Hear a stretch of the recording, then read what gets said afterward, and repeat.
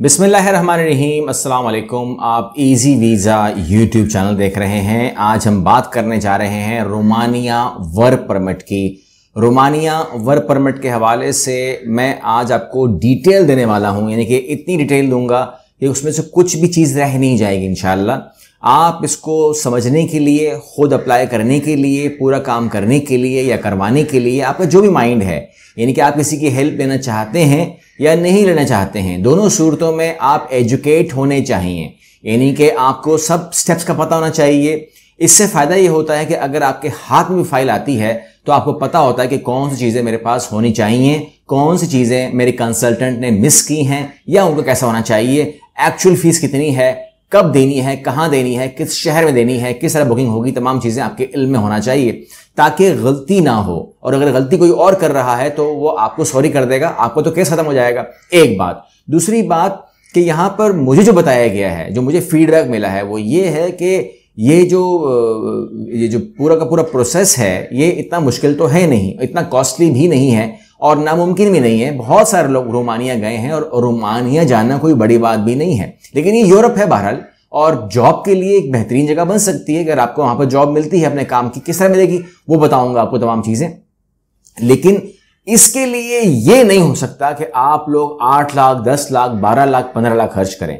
ऐसा नहीं हो सकता। वजह उसकी ये है कि अगर आप बारह लाख खर्च करते हैं, फॉर एग्ज़ाम्पल तो फिर आप रिकवरी नहीं कर पाएँगे। और अगर आप जब तक रिकवरी करेंगे, तब तक आपका टाइम पूरा हो जाता है अगर अगली जॉब दो साल के बाद नहीं मिलती है या आप एक्सटेंड नहीं कर पाते या नहीं करना चाहते तो फिर आपके दो साल मैं ज़ाया काउंट करूँगा। मतलब अगर आप चले भी जाते हैं तो वो एजेंट भी क्या कर रहा होगा या वो कंसल्टेंट भी क्या कर रहा होगा तो वो मैं आपके सामने आज खोल कर रख रहा हूँ ए टू जी ये आप देखते जाइए। लेकिन इससे पहले जो है, ये दिमाग में रखिएगा, आपके क्वेश्चन आए हैं। Air ticketing and tourism course के हवाले से तो रमज़ान पैकेज वैलिड है आखिरी रमज़ान तक। तो जो भी आपको डिस्काउंट हमने बताया है फिफ्टी परसेंट वो आप चेक जो अगर किसी को आउटलाइन चाहिए तो वो ये आउटलाइन ये रही। नीचे डिस्क्रिप्शन बॉक्स से ले लो। ये तमाम के तमाम कोर्स के अंदर होगी। ऑनलाइन कोर्स है। आपको अपने घर के अंदर या अपने ऑफ़िस के अंदर बैठ के पढ़ना है। टीचर की हेल्प आपके पास होगी। जो सॉफ्टवेयर्स हैं, वो आपके पास होंगे, आपके सिस्टम में होंगे। और ये तमाम चीज़ें जो हैं, इंतहाई आसान तरीके से with the help of teacher आप अपने अपने शहर में, अपने मुल्क में बैठ के पढ़ सकते हैं। रमज़ान का फ़ायदा यह है कि आप इसके अंदर अपना डिस्काउंट जो है 50 परसेंट वो अवेल कर सकते हैं। रोमानिया वर्क परमिट के अंदर हम आते हैं तो यहाँ पर सूरत हाल ये है कि मैंने आपको बता दी कि अगर आप 18 साल के हो चुके हैं तो फिर आप एलिजिबल हो जाते हैं to apply work visa in अब आपको मैं पूरी इंफॉर्मेशन दूँगा कि यहाँ पर जो मिनिस्ट्री ऑफ़ फॉरेन अफेयर है e visa apply of Romania e visa online यानी कि ये तमाम चीज़ें जो हैं, लेकिन आपका वीज़ा ऑनलाइन अप्लाई नहीं होगा, आपका वीज़ा जो है, वो इस्लामाबाद के अंदर अप्लाई होगा, ये आपके माइंड में होना चाहिए। अच्छा अब इस्लामाबाद में अप्लाई होगा तो आपको मैं वो भी बता देता हूँ कि अम्बेसी ऑफ़ रोमानिया जो है, वो इस्लामाबाद में है, और जो डॉक्यूमेंट चाहिए होंगे, वो मैं आपको इन्फॉर्म कर दूँगा। यहाँ पर एक बात याद रखिएगा कि स्टेप्स और आपने नोट कर लिए और आपको याद होंगे तो आपसे कभी गलती नहीं होगी। नंबर वन सबसे पहले आप याद रखिएगा कि आप अपनी इस पूरे प्रोसेस के लिए सामने एज अ फेस या as a person in person आप नहीं जा रहे, आपको डॉक्यूमेंट जा रहे हैं। ये बात दिमाग में रखते हुए कि भाई, मैं तो हूँ ही नहीं। मैं आप बेहतरीन हैं, मगर आप सामने नहीं हैं, आपके डॉक्यूमेंट सामने जा रहे हैं। वो डॉक्यूमेंट आपसे भी ज़्यादा बेहतरीन होने चाहिए। तो उसके लिए आपको एक शानदार किस्म का यूरोपियन कवर लेटर बनाना है और एक शानदार किस्म का आपने रोमानिया के लिए सी बनानी है जो कि अप टू द मार्क हो फॉर रोमेनियन ताकि वो लोग उसको जो वहाँ के लोकल्स हैं अपने हिसाब से मत देखिए पाकिस्तान के हिसाब से मत देखिए। आप उसको रोमानी के हिसाब से तोलिएगा तो आपको समझ में आएगा कि आपने करना क्या है। तो ये चीज़ आपके सामने होगी। तो फिर आप आ जाएँगे ये स्क्रीन के ऊपर आप, आप देखते रहिएगा। जैसे फॉर एग्ज़ाम्पल लिंकड है। लिंकड पे आप आते हैं, यहाँ पर आप डालेंगे उस पेशे का नाम, आपके पास प्रोफ़ाइल कंप्लीट हो तो आप आ जाएँगे अप्लाई करने के लिए और अप्लाई करने के लिए सबसे पहले आप आएँगे लिंकड के अंदर लिंकड के अंदर आप यहाँ पे लिखेंगे कि आप कौन सी जॉब हासिल करना चाहते हैं। फॉर एग्जांपल ड्राइवर है, हेल्पर है, मेसन है, प्लम्बर है, कारपेंटर है, या वर, या बिज़नेस मैनेजर है, जो कुछ भी है, आप यहाँ पर लिखेंगे और यहाँ पर आप लिखेंगे उसका, कि रोमानिया में चाहिए आपको या कंट्री चेंज भी कर सकते हैं। और यहाँ आप दबा देते हैं सर्च का बटन। जब आप सर्च का बटन दबाएँगे तो आपके सामने जो है उसका रिज़ल्ट आ जाएगा और उसके रिज़ल्ट को आप यहाँ पर फाइंड आउट कर लेते हैं कंपनी के हवाले से कि क्या चीज़ मिलेगी। और यहाँ पर आप अप्लाई अप्लाई का बटन दबाएँगे तो आप वहाँ पर पहुँच जाएँगे। अब आप आ जाइए फॉर एग्ज़ाम्पल इस तरीके से आपने वहाँ अप्लाई कर दिया तो आपका डॉक्यूमेंट जो है वो अपनी कंसर्न जगह पर पहुँच गया है। यहाँ पर अब फॉर एग्ज़ाम्पल हम बात करते हैं इंडीड की तो अगर आप इंडीड में आते हैं तो इंडीड की स्पेलिंग क्या है? R O dot Indeed dot com यहाँ पर अगर आप आते हैं तो यहाँ पर भी सिलसिला बिल्कुल सेम ही है कि आपने जो जॉब करनी है, वो लिखना है कंट्री लिखना है, और यहाँ पर सर्च करना है, और सर्च करने के बाद जो है, आपको यहाँ पर भी रिज़ल्ट वही मिलेगा कि जो आपको चाहिए, ये हो जाएगा। उसके बाद आप आगे आ जाइए, और वो है आपकी जॉब्स ई जॉब्स की साइड है ये। E jobs dot R O यहाँ पर जब आप आते हैं तो यहाँ पर भी मामला वही है कि यहाँ पर आप फॉर एग्ज़ाम्पल कोई भी आप यहाँ पर डाल दीजिए अपना, जो भी आप काम करना चाह रहे हैं, वो लिख दीजिए।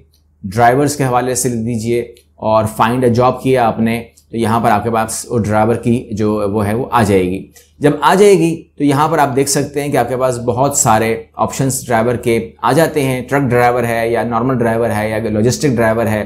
या और कैटेगरी अंदर सप्लायर भी आ जाता है बाइक राइडर्स भी आ जाएँगे, तमाम चीज़ें आ जाएँगी, जिसके अंदर आपको समझ में आता है कि आप वहाँ पर कंफर्टेबल हैं और अप्लाई करना चाहते हैं, मुख्तलिफ़ और भी अप्लाई इसमें हो जाएगा तो यहाँ पर आप उस पर क्लिक करके अपने डॉक्यूमेंट जो है वो सबमिट कर सकते हैं। यहाँ पर आपको अकाउंट खोलना पड़ेगा। अगर आप वाया फेसबुक लॉगिन होना चाहते हैं तो आपको ऑप्शन दिया जा रहा है कि अगर आपने नहीं करना लॉगिन तो यहाँ से हो जाइए। वरना आप जो है ईमेल और पासवर्ड डालिए और लॉगिन हो जाइए। आपको अकाउंट क्रिएट यहाँ पे करना पड़ेगा। ये तमाम काम करने के बाद, ये तमाम काम करने के बाद आप आ जाएँगे अम्बेसी ऑफ़ रोमानिया जो आपने वहाँ पर अप्लाई किए जॉब्स वो आपका प्रोसेस जो है, वो ऑन गोइंग प्रोसेस है। उसमें कोई डेट टाइम फिक्स नहीं है। यानी कि आपने बोला कि जी मैंने सत्तर अस्सी इंडीड में डाल दी, सत्तर अस्सी ई जॉब में डाल दी, सत्तर अस्सी जो है वो लंकिन में डाल दी। इसके बाद जब आप उसको कर लेते हैं, फिर आप उसको चेक करते हैं कि ये जॉब की जो ऑफ़र मेरे पास आई है, वो सही है कि गलत है तो वो अपने एक्शंस के साथ बोलती है। मेरे पास यहाँ पर होता यह कि जब मैं ये दिखा रहा होता हूँ तो कोई कंपनी खुल जाती है। अब कोई कंपनी खुल जाती है तो मैं उसको प्रमोट नहीं कर रहा होता, ठीक है? मैं अगर नाम ले भी लूँ तो मैं किसी कंपनी को प्रमोट नहीं कर रहा होता, और मेरे नाम लेने पर उस कंपनी से बात मत कर लेना कि भाई आपने नाम लिया था।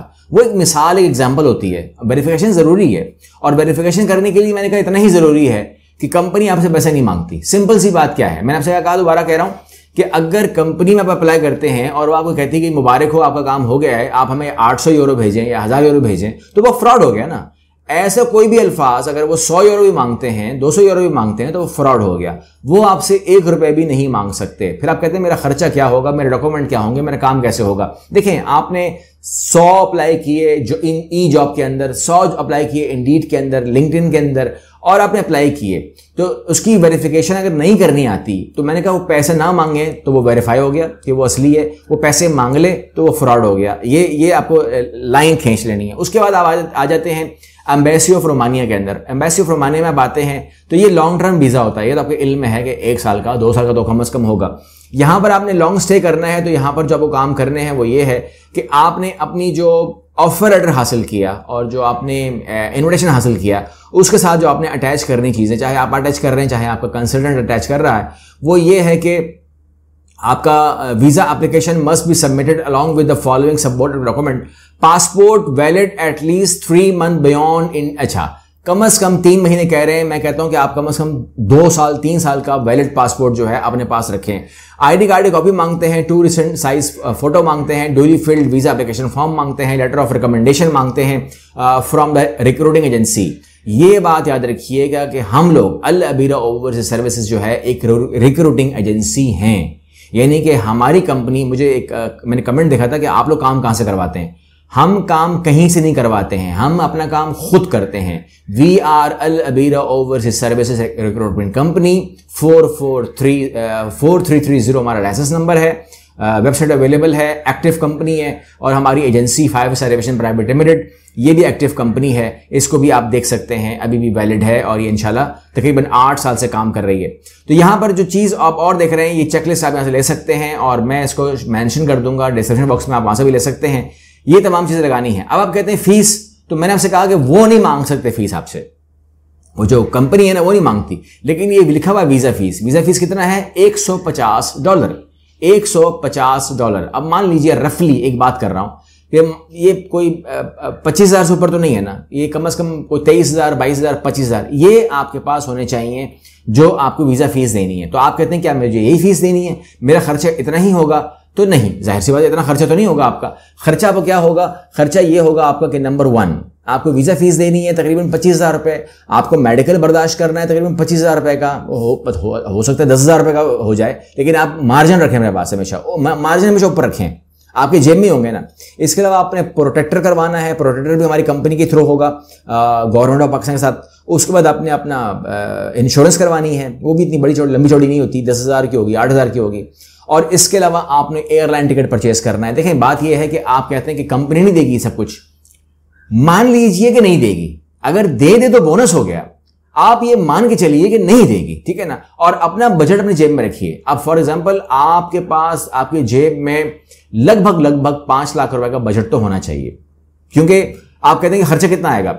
मान लीजिए खर्चा नहीं आए खर्चा ज़ीरो आए आपकी कंपनी बर्दाश्त कर रही है। या आप कहते हैं, मुझे मुझे टिकट खरीदना पड़ा, ये खरीदना पड़ा, वो खरीदना पड़ा, मेरे दो लाख खर्च हो गए। तो ठीक है, पाँच लाख होने चाहिए का मतलब ये है कि आपने किसी को देने नहीं है बट आपके पॉकेट में होना चाहिए। और जब आप ट्रैवल करें यहाँ से तो कभी भी खाली जेब ट्रैवल मत करना, क्योंकि बहुत सारे लड़के ऐसे हैं जिनके साथ ये वाक्य हुआ, वो रोमानिया गए, हम, हमारे जो इल्म है हमारे साथ, और खैर, हमारे ऑफ़िस से तो हम नहीं छोड़ते खाली जेब, लेकिन आउट ऑफ़ समवेयर एल्स वो गए। तो हम तो पाबंद करते हैं कि आपके पास, आपके पॉकेट के अंदर शो मनी होनी चाहिए, ठीक है ना? पहला महीना गुजारना है आपने, वहाँ पर खाना खाना है आपने, वहाँ पर जाती थोड़ी, ये थोड़ी जहाज़ से निकलोगे तो कोई बंदा सैलरी लेके खड़ा हुआ होगा। आप पूरा महीना काम करोगे, पूरा महीना गुजरेगा फिर शायद दस दिन और गुजर जाए, फिर कोई और कानून निकल आता है, कोई चीज़ डॉक्यूमेंट की फ़ीस मांग लेता है आपसे, ठीक है ना? कंपनी आपको सपोर्ट नहीं कर रही होती, वो कम, ये आप सौ यूरो जो है, आप पे करो फॉर एग्ज़ाम्पल तो आप क्या क्या बोलोगे? मैं लेकर ही कुछ नहीं आया हूँ। तो ऐसा नहीं होता। फिर खाने के पैसे लड़के मांग लेते हैं आपसे। रिहाइश की जो अकोमोडेशन देनी है लेकिन खाना तो खाना तो नहीं देंगे ना आपको। अब आप बोलेंगे, मैं तो कंपनी के लिए आया हूँ। वो लड़के लड़के बोले हैं फॉर एग्ज़ाम्पल ये खाना इसमें शामिल ही नहीं है। आपके तो इल्म में होता कि नहीं शाना, शामिल? लेकिन आप कंपनी से तो एडवांस दो। बाज लोग हमसे कह रहे होते हैं कि आप अफोर्ड कर लें। भाई, हम क्यों अफोर्ड कर लें? हमारा काम प्रोसेसिंग का है। आपने हमारी कंपनी को समझना है कि हम आपको प्रोसेसिंग करके देंगे। आप कहते हैं, फिर मैं कटवाता रहूँगा आपके साथ। हमारे पास ऐसा कोई सिस्टम नहीं है। ना हम कितनों को अफोर्ड कर सकते हैं? यहाँ पर कोई यहाँ तो वॉल्यूम है। अब कितने लोगों के पीछे हम घूमते रहेंगे कि भाई आपके खाने के पैसे आपके रेंट के पैसे। तो आपके पास अगर पा, पाँच लाख का चार लाख का बजट नहीं है तो आप रुक जाएँ। पहले आप अरेंज करें उसको और अरेंज अपना जाति पैसा करें। ये सूद वाला काम भी मत करें। क्योंकि मैं हमारे पास बहुत सारे ऐसे केसेस आए जो लोग हमें बताते हैं कि जी हम तो सूद लेके बैठे हुए हैं। तो वो खतरनाक चीज़ है। वो वो चीज़ भी खतरनाक है। हम उसको कोई प्रमोट नहीं करते। लिहाजा अपनी तैयारी को कंप्लीट कीजिए। अप्लाई कीजिए तो जो चीज़ आपकी 12 लाख में होनी है हो सकता है वो चीज़ आपकी फ्री में हो जाए और हो सकता है वो चीज़ आपकी दो लाख डेढ़ लाख में हो जाए तीन लाख में हो जाए। तो ये अच्छी बात है कि एक तो आपके साथ फेयर काम होगा लेकिन दो लाख ढाई लाख तीन लाख खर्च करने के बाद आप कम अज कम यह है कि बारह लाख से बच गए। ठीक है ना? वो भी तो दे ही रहे हो ना आप भी दे रहे हो। तो वहाँ तो आप नहीं बोलते कि मेरे आ, आप अफोर्ड करें वो आप अफोर्ड कर रहे होते हो। तो ये जो तीन चार लाख होते हैं उसमें भी आप पूछ रहे हो किस किसके पैसे हैं?